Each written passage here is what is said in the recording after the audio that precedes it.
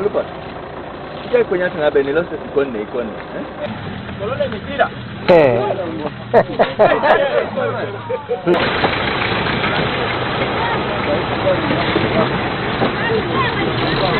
In Teso sub-region, we have sub-counties and populations that have been cut off without social services and access.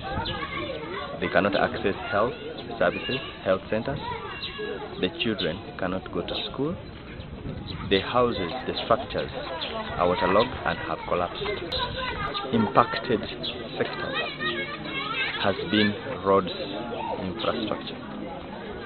The bridges have been destroyed, the culverts have been washed away. From our assessment, we see that there is need for immediate intervention in terms of provision of uh, uh, blankets to improve on the warmth mass of the children. Relief food, is going to be a very big problem on food security because many crops and many gardens, hectares, have been destroyed.